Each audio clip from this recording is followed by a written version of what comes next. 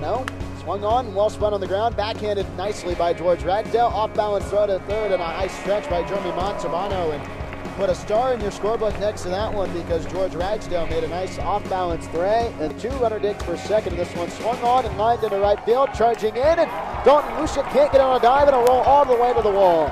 Being waved around home is Jackson Slade. He will score, and racing into second base is Robbie Coleman. And the Rafters lead this game one to nothing off the RBI double by Coleman. There's that second and third, the pitch, and this is a breaking ball that ricochets off the shoulder of Barash and down the left field line and to go, and hustling down the line and scoring is George Ragsdale, and this is there's that first and third, the 2-2. Runner digs for second. Swung on a miss, and a peg down to second is not in time.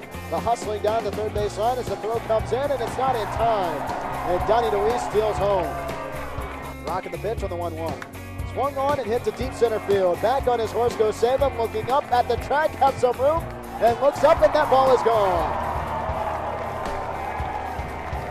In his final game as a Rafter, Jeremy Montalbano ends it like he began it with a home run, and the Rafters now lead this game 11 to 2.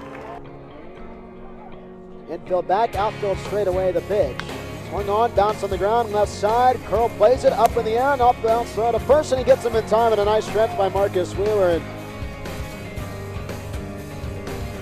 2-2 inside and a called strike three as Ricky Estrada rung him up, and that'll do it tonight for the Alexandria Blue Anchors as they fall 14-2 for the Wisconsin Rapids Rafters.